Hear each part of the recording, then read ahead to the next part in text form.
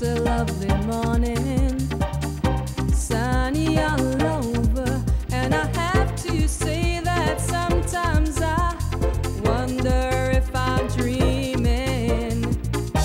But I have you near me, standing tall before me.